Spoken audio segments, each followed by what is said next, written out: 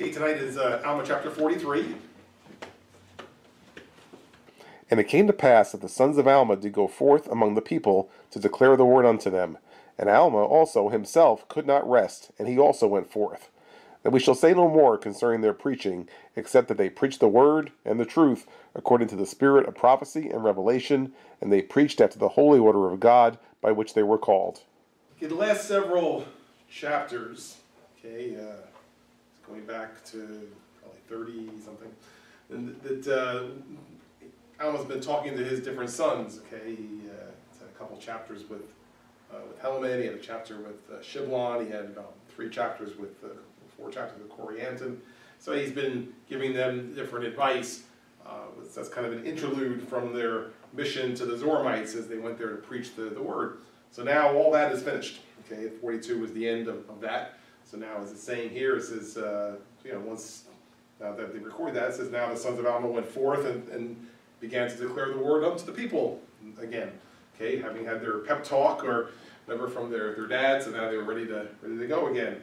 And uh, in particular, I would point out that even the third son who had done some things wrong, okay, that uh, you know the, his father corrected him, and now he sent him back out again, right? So it wasn't he was looking to to ground him forever, right? But rather just to straighten him out and say, okay, now let's now let's do it right. And So now, so, so all his sons are out doing it. This is uh, that you know even Alma was maybe getting a little bit older by this time. He says he, he couldn't rest. He, he's going to be out there too and doing the doing the work, right? And so uh, so they're going to go ahead and preach the, the word again among the Zoramites and. So for this part of the record, it's, we're not going to bother to elaborate on that, just to say that's what they're doing right? They, they went out and they preached the word. It's consistent with the way they've been doing it all, all along right after the, the spirit of prophecy, revelation, and after the holy order of God, right? So this is what, what they, they were doing. So, so that part of the story is over for now, and it's going to be transitioning to a new, a new storyline at this point.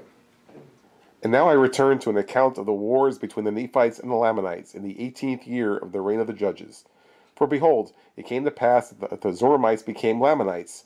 Therefore, in the commencement of the eighteenth year, the people of the Nephites saw that the Lamanites were coming upon them. Therefore they made preparations for war, yea, they gathered together their armies in the land of Jershon. And it came to pass that the Lamanites came with their thousands, and they came into the land of Antionum, which is the land of the Zoramites, and a man by the name of Zerahemnah was their leader. I said it was a new storyline, really. It's returning to maybe an old storyline. We're going to detail some the, some more battle uh, stories here, okay, between the, the good guys and the bad guys. Right, so this is, we're going to talk about the, the war between the Nephites and the Lamanites.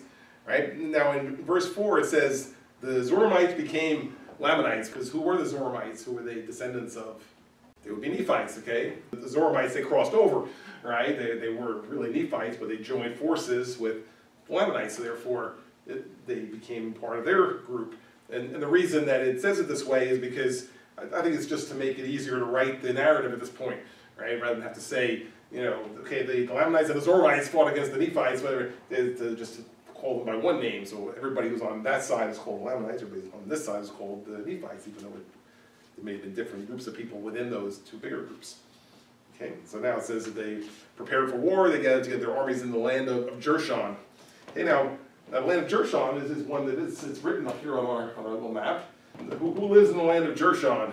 It was the converted Lamanites lived there, right? The, the, the people called the people of anti-Nephi Lehi, also known as the people of Ammon, okay, the other names that they, they went by.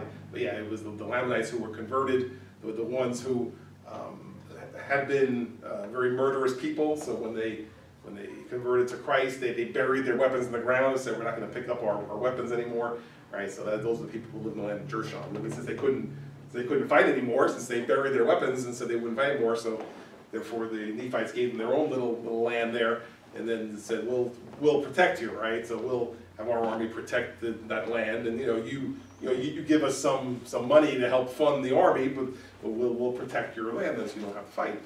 Okay, so that's the land of, of Jershon, right? So. So that's why it says they, they gathered together their armies in the land of Jershon because they needed the armies there because the people who lived there weren't going to be in the army, so they had to be ready to protect that part of, of the land right? So and now in five, it's, it's the beginning of them coming in, or I mentioned some of the, the names there, right? The, the, is going to be the, the leader of the army this time, right? And so they're they're gathering the land of Antionum where the Zoramites lived, which I guess is where Alma and his sons had been all along. I don't think it had mentioned the, the land by name prior to this, but this was the- where they had been in the land of the Zoramites all along. So, preparations for war, get, get, get the battle lines are drawn and everybody's ready to, ready to go. And now, as the Amalekites were of a more wicked and murderous disposition than the Lamanites were in and of themselves, therefore Zerahemnah appointed chief captains over the Lamanites, and they were all Amalekites and Zoramites. Now this he did that he might preserve their hatred towards the Nephites, that he might bring them into subjection to the accomplishment of his, his designs. For behold, his designs were to stir up the Lamanites to anger against the Nephites. This he did that he might usurp great power over them, and also that he might gain power over the Nephites by bringing them into bondage. In six, so we have another name mentioned here, the uh, Amalekites. It was another subset of, uh, of the Nephites, all right, and again, ones who came to not be on the side of the Nephites, right, so they, they, they joined in here as well. So then I see why they want to call them all the Lamanites, all right, because otherwise you get all kinds of names that you got to throw in here. So, so again, for the sake of the ease of writing, this just going to refer to all the people as Lamanites. But in, in six, you can see it says that the these smaller groups, which were Nephites by birth, right, were actually more uh, up in arms than even the Lamanites were, right? That they that they wanted to, they would, you know, the, the rebellion, right? They, they wanted to win. So, so says that's why he says he, he picked all, all the chief captains from those groups, right? They're they're really murderous here. They're, they're really into this. They really want to win. So we'll, we'll make them be, be be the captains. This way they can stir everybody up to to fight a good war. Okay, so this was good good strategy here. Right, so that's why he said he wanted to preserve their hatred towards the, the, the Nephites, and uh, so he felt he could lead this kind of group because they were already motivated. Okay, so you see his his own uh, Zerahemnah, the leader here, what he was going to try to accomplish. Right, that uh, he's figured he can get this group to be under his control, and also then try to defeat the Nephites and bring them into bondage. So that was the that was the plan. Now the design of the Nephites was to support their lands, and their houses, and their wives, and their children, that they might preserve them from the hands of their enemies, and also that they might preserve their rights and their privileges, yea, and also their liberty, that they might worship God according to their desires. For they knew that if they should fall into the hands of the Lamanites, that whosoever should worship God in spirit and in truth, the true and the living God, the Lamanites would destroy. Yea, and they also knew the extreme hatred of the Lamanites towards their brethren, who were the people of anti Nephi Lehi, who were called the people of Ammon, and they would not take up arms. Yea, they had entered into a covenant, and they would not break it. Therefore, if they should fall into the hands of the Lamanites, they would be destroyed. It's giving you the perspective of the two sides here. Right? See, the first it said this is what the Lamanites hope to accomplish kill, murder, have power, put people in bondage, right? That was their motivation. Okay, now the Nephites, it says the designs of the Nephites was to just to protect what they had. Okay, they weren't looking to, to take anything away from anybody or hurt anybody, they just wanted to defend themselves. And as it says right there, it says to preserve uh, their houses, wives, children, uh, privileges, liberty, rights, and so forth. Okay, so these, were the things that they wanted to, to do recognizing that if they fall into the hands of the enemy, they, they lose that. Okay, they, they lose that intent. That anybody who should worship, uh, worship the, the, true and living God in spirit and truth, the Lamanites would destroy. Okay, so therefore it was important for them to win this war in order to preserve their religious liberty and their families and so forth. So that's that's their that's their goal is just to to defend themselves and defend what they have. In 11, it's also mentioning that, uh, you know, that they, they knew that the Lamanites has had an extreme hatred for, for the people of anti-Nephi Lehi, who we just mentioned a few minutes ago. Also the people of Ammon, and, and why would they have an extreme hatred for them? They used to be with them, okay, and then, so they, they were converted and left them, and they went over and lived with the Nephites. So they're, they're traitors, so they're, they're the worst ones of all, okay, to them. So it says, yeah, they really don't have any, you know, have any love for them. So that's when, so it says here, the ones who, who wouldn't take up arms and enter into a covenant and so forth. So they, they knew that if the Lamanites got them, there'd be no, be no battle, right? Because they're not even gonna fight. They, they would rather be killed than pick up enemy, or pick up uh, weapons. And the Nephites would not suffer that they should be destroyed. Therefore they gave them lands for their inheritance. And the people of Ammon did give unto the Nephites a large portion of their substance to support their armies, and thus the Nephites were compelled alone to withstand against the Lamanites, who were a compound of Laman and Lemuel, and the sons of Ishmael, and all those who had descended from the Nephites, who were Amalekites and Zoramites, and the descendants of the priests of Noah. Now those descendants were as numerous nearly as were the Nephites, and thus the Nephites were obliged to contend with their brethren even unto bloodshed.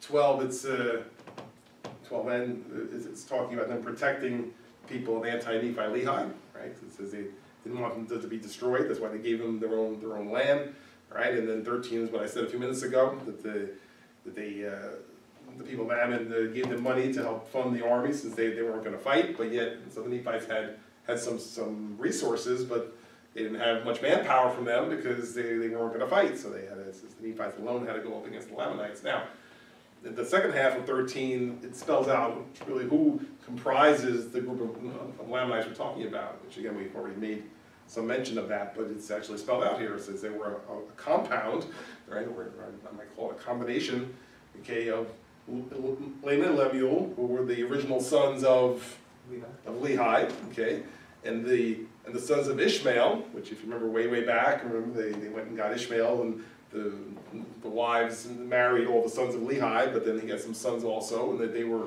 on the Laman and Lemuel side, right, so, so it had them, it says, and all those who were descended from the Nephites, who were the Amalekites and Zoramites, who we mentioned tonight, and, and also the descendants of the priests of, of King Noah, the, the, the, the wicked king, the, the one that, uh, that Alma was one of the priests, and he, he left them, that's Alma Senior, and, so, uh, they- and they were, let's see, the priests of Noah, were they, uh, Nephites or Lamanites? They were among the, the Nephites, right, they were, in fact, this was the map of when the, the- the Zeniff was a a Nephite, Lev Zarahemla went over here, and then his son was King Noah, okay, and his son was, was was Limhi, and then Alma came and, and and brought them all, all back, all right, so this was the King Noah we're talking about, so this was all Nephite people that we're, that we're talking about right here, okay, so. So King Noah and this wicked priest, they were Nephites also. So, so it's, it's giving you, a, just a little, a little diagram of who makes up this group. Right, so you got all, all these groups, and, uh, against just the Nephites is why it says that the, they were so numerous. I mean, I guess were lots of Nephites too, because it sounds like it was pretty much almost an even, uh, battle here in terms of number of people. But, uh, but yet, uh, it's just the Nephites against all these other groups, and some of them were really motivated to, to, uh, to fight here. And it came to pass as the armies of the Lamanites had gathered together in the land of Antionum, behold, the armies of the Nephites were prepared to meet them in the land of Jershon. Now the leader of the Nephites, or the man who had been appointed to be the chief captain over the Nephites, now the chief captain took the command of all the armies of the Nephites, and his name was Moroni. And Moroni took all the command and the government of their wars. And he was only twenty and five years old when he was appointed chief captain over the armies of the Nephites. And it came to pass that he met the Lamanites in the borders of Jershon, and his people were armed with swords and with scimitars and all manner of weapons of war. Okay, I think we need a, need another city here, it's already been mentioned twice. Which, uh, city do I need to put up here? Antioch. Antionum, okay, let's see, where, where will we put Antionum? Let's put it down here, okay?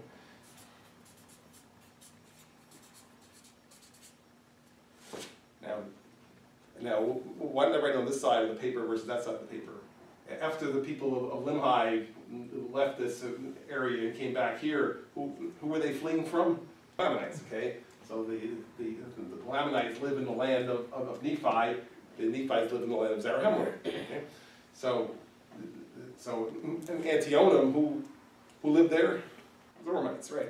At least the Zoramites were Nephites, okay? And in fact, that's, that's where Alma and his sons have been hanging out for the last several chapters, right? In the land of Antionum, right? But Since chapter thirty-one, they've been here.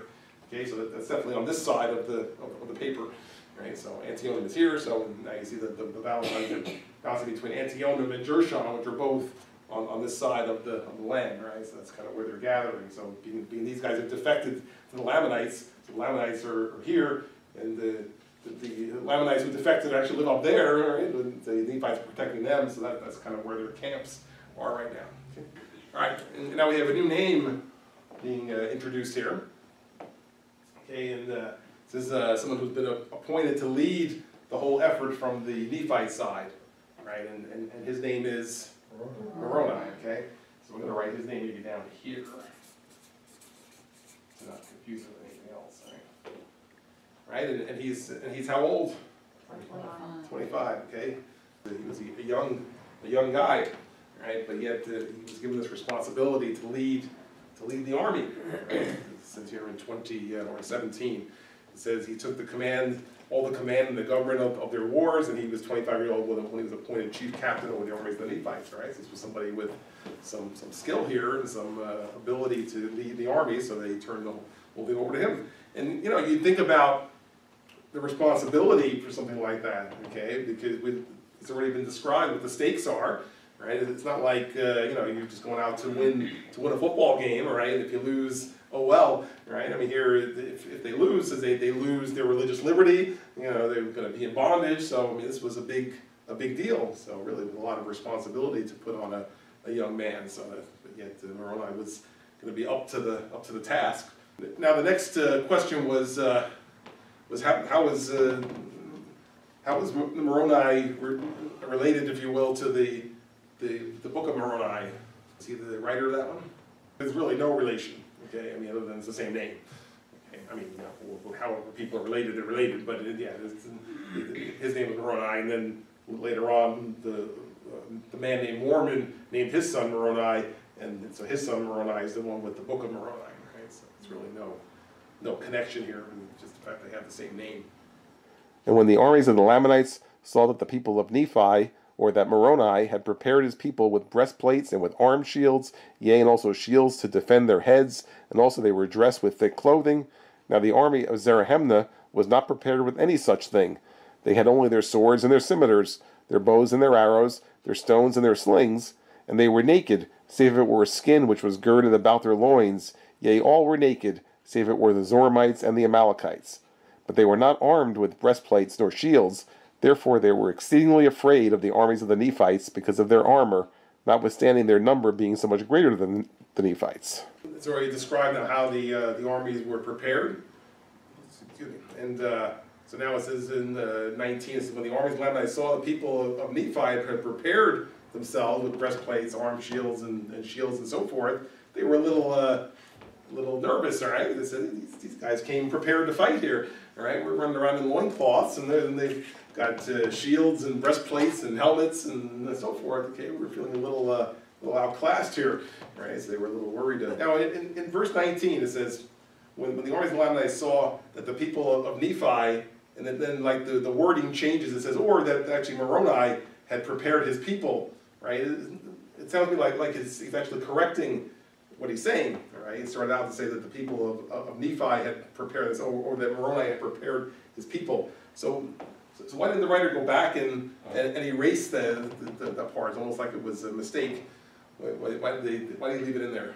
'Cause It was already engraved, right? See, this is where you can appreciate how they're, they're writing it, okay? They're engraving it on the plate. So if he had already engraved the people of Nephi, like, oops, so that kind of came to mind as I was looking at this. That uh, you know, you see that almost like he's changing his mind how he's going to say it, right? But yeah, you can't easily go back and correct it, so you just have to say, or, or really, I meant this, right? And then you, then you just read it through and you get the right, the right meaning.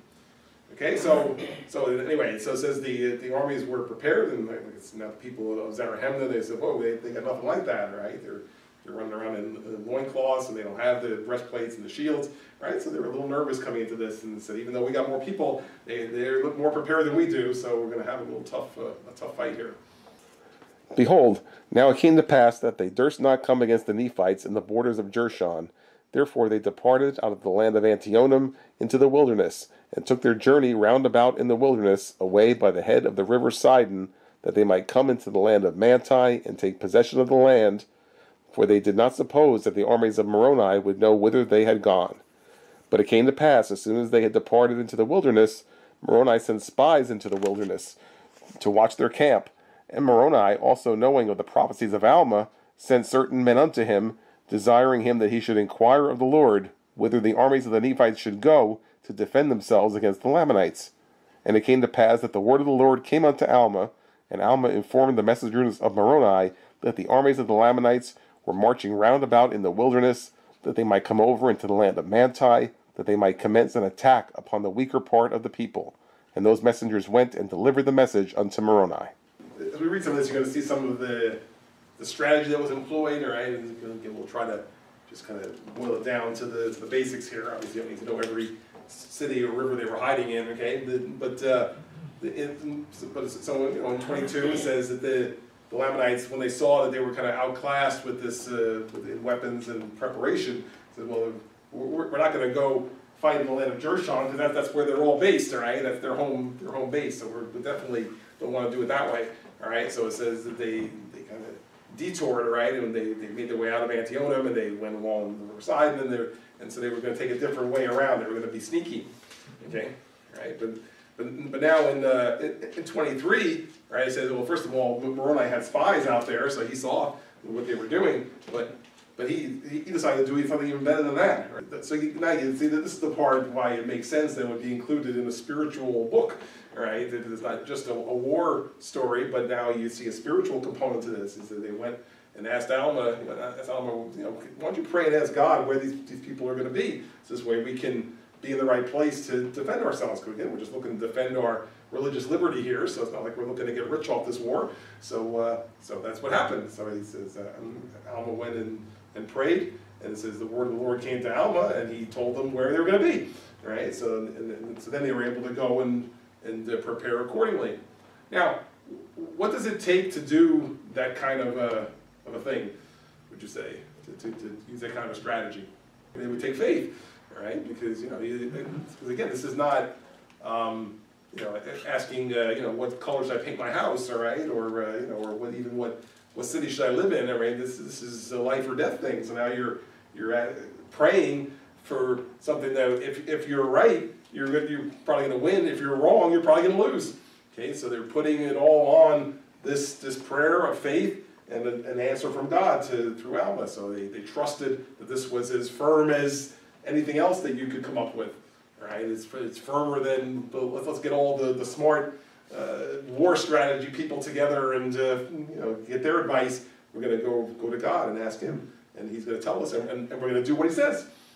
Now Moroni, leaving a part of his army in the land of Jershon, lest by any means a part of the Lamanites should come into that land and take possession of the city, took the remaining part of his army and marched over into the land of Manti and he caused that all the people in that quarter of the land should gather themselves together to battle against the Lamanites, to defend their lands and their country, their rights and their liberties.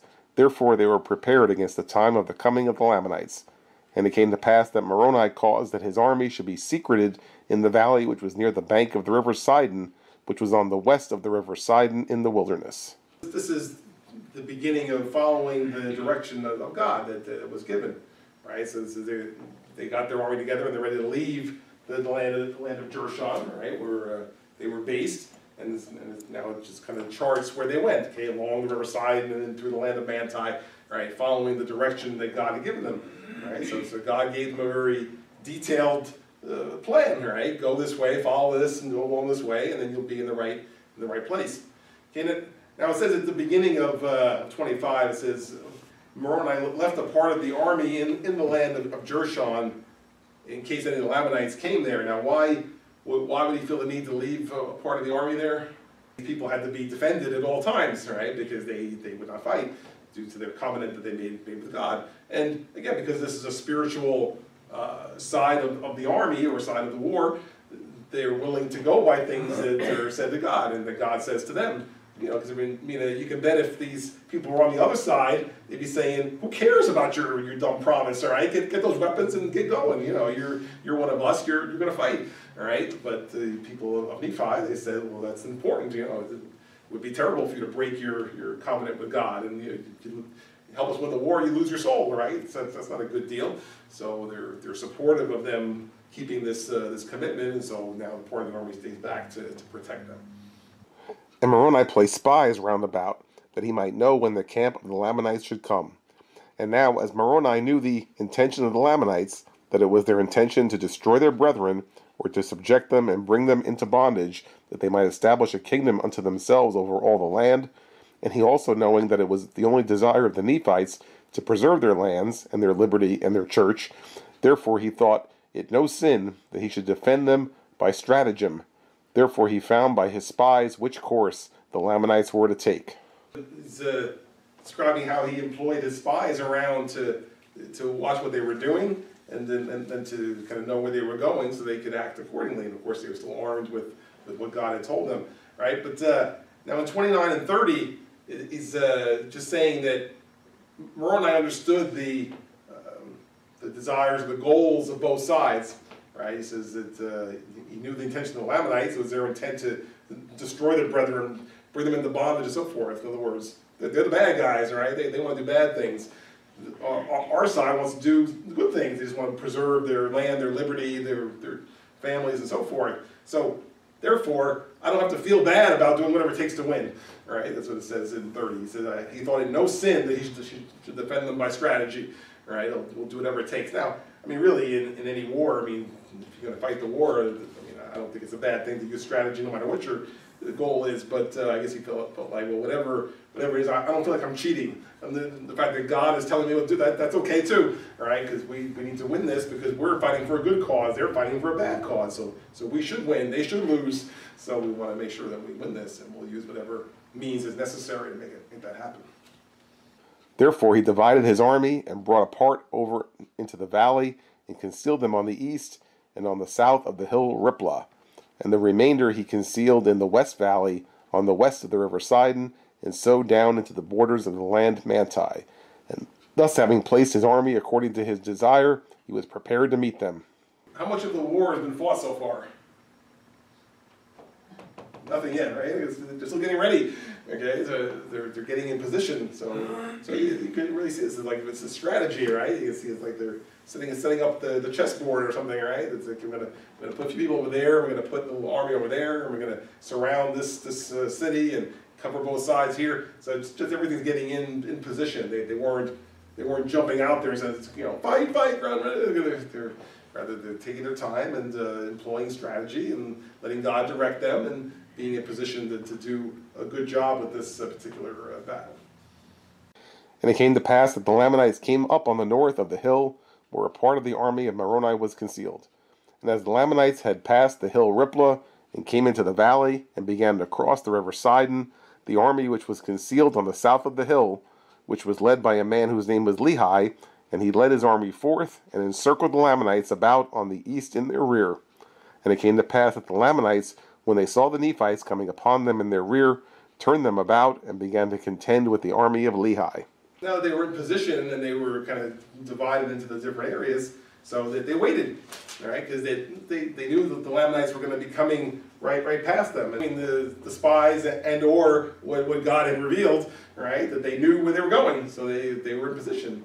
You you know how much easier it is to, to win a war if you know what the other side's going to do, right? Because there's no element of surprise there. So they, they knew what they were going to do, so they were they were waiting and they were just waiting for them to pass. And so as soon as they passed, now they, they were caught because they were in between the, the, the, two sides of the army, right? The one side had, had was led by Moroni, and the other side was led by a man named named Lehi. So he was in, in the back uh, when after the Lamanites passed, and so now it says Lamanites they, they saw oh there's the army of Moroni in front of us. They turn around, here's the army of Lehi behind us, right? So now they're now they're pinned in between the, the, the two sides. And the work of death commenced on both sides, but it was more dreadful on the part of the Lamanites, for their nakedness was exposed to the heavy blows of the Nephites with their swords and their scimitars, which brought death almost at every stroke. While on the other hand, there was now and then a man fell among the Nephites by their swords and the loss of blood, they being shielded from the more vital parts of the body, or the more vital parts of the body being shielded from the strokes of the Lamanites by their breastplates and their arm shields and their head plates, and thus the Nephites did carry on the work of death among the Lamanites. And it came to pass that the Lamanites became frightened because of the great destruction among them, even until they began to flee towards the river Sidon. And they were pursued by Lehi and his men, and they were driven by Lehi into the waters of Sidon, and they crossed the waters of Sidon. And Lehi retained his armies upon the bank of the river Sidon, that they should not cross. So in this section, you see the first actual battle occurring, right? And now here's what, what they were afraid of, uh, what the Lamanites were afraid of, right? They, they're better prepared than we are. So it says, you know, that, I mean, they're killing maybe an occasional Nephite who just you know, maybe losing a lot of blood, but for the most part, their their shields and their their helmet and so forth help them withstand lots of blows. Whereas the Lamanites were all exposed, one one shot and, and they're done. Okay, so it was a lot easier to kill off the, uh, the Lamanite people. So they were not they were not prepared, right? They were not prepared for this kind of a battle. I guess they just thought they were going to come in and say boom, and the Nephites were going to roll over, right? But they they were not prepared for this kind of battle, so this is, they, they lost a lot of a lot of men. So by, by 39, they're finding out that this is not going too well, right? So the Lamanites became frightened and they, they began to, to flee. And so now, now, now the chase is on, right? Because we're not going to win this head to head. So now we, we have to escape and figure out something else. And it came to pass that Moroni and his army met the Lamanites in the valley on the other side of the river Sidon, and began to fall upon them and to slay them. And the Lamanites did flee again before them towards the land of Manti, and they were met again by the armies of Moroni. Now in this case the Lamanites did fight exceedingly. Yea, never had the Lamanites been known to fight with such exceeding great strength and courage, no, not even from the beginning. And they were inspired by the Zoramites and the Amalekites, who were their chief captains and leaders, and by Zerahemnah, who was their chief captain, or their chief leader and commander. Yea, they did fight like dragons, and many of the Nephites were slain by their hands. Yea, for they did smite in two many of their head plates, and they did pierce many of their breastplates, and they did smite off many of their arms, and thus the Lamanites did smite in their fierce anger. Now, now it mentions that they were the Lamanites began to fight uh, fiercely, right? So it was great, exceeding great strength and courage, and the and the they began to fight exceedingly and so forth. Why did they suddenly rise to the occasion here? They were it was backs against the wall, right? That's what it was. Is they were being chased and they had they had nowhere else to go. So you know, if you've ever experienced anything like that, you know, you somebody tries to uh, flee or whatever, and then they reach the corner and there's no place else to go. Well, now they, they come out fighting like crazy. They know they know this is it, right? You're I, I can't run anymore. So that's, that's how they were reacting here, right? They were backs against the wall, so now they, they came out fighting fiercely. As you can see, it says some, some of their blows uh, split the head plates, all right? So they were you know, getting through even the, uh, the, the, protection that the Nephites had, and so now the Nephites were losing a few more people as they were you know, trying desperately to survive here. Right? So you push somebody into a corner, and then you, you know, what happens if you ever see like a like an animal or something, right? You like, like a cat in the corner and turns around, and they start scratching away, right? So you know, they can become like fierce when they're they're trapped in a corner like that. Nevertheless, the Nephites were inspired by a better cause, they were not fighting for monarchy nor power, but they were fighting for their homes and their liberties, their wives and their children, and their all, yea, for their rights of worship and their church. And they were doing that which they felt was the duty which they owed to their God. For the Lord had said unto them, and also unto their fathers, that inasmuch as ye are not guilty of the first offense, neither the second, ye shall not suffer yourselves to be slain by the hands of your enemies. And again the Lord has said that ye shall defend your families even unto bloodshed. Therefore, for this cause were the Nephites contending with the Lamanites to defend themselves and their families and their lands, their country, and their rights and their religion. 40, 45 to 47, as we just read, I mean, it's reiterating that the, the Nephites still had a better cause that they were fighting for, and so uh, that's, uh, I believe, why God was, was with them, right? Because they were following really the, the commandments of God, as it says in uh, 46 and 47, right? In 47 in particular, it says, you'll defend your families even unto bloodshed, right? So this is the, the Lord in this case had instructed them, you need to defend yourself, because the alternative was that they were going to have to give up their religious uh, liberty, right? So they were fighting to be able to continue to serve God in the right way, so therefore, they, they had to defend themselves. They had to win this particular battle. So that's why that God instructed them to uh, to do this. And, and so that back to even going back to when Alma had prayed for the God's direction, it was with the idea that this army was going to be the army that would win this particular uh, battle. And it came to pass that when the men of Moroni saw the fierceness and the anger of the Lamanites, they were about to shrink and flee from them. And Moroni, perceiving their intent, sent forth and inspired their hearts with these thoughts yea, the thoughts of their lands, their liberty, yea, their freedom from bondage. And it came to pass that they turned upon the Lamanites, and they cried with one voice unto the Lord their God for their liberty and their freedom from bondage. And they began to stand against the Lamanites with power, and then in that self same hour that they cried unto the Lord for their freedom, the Lamanites began to flee before them, and they fled even to the waters of Sidon.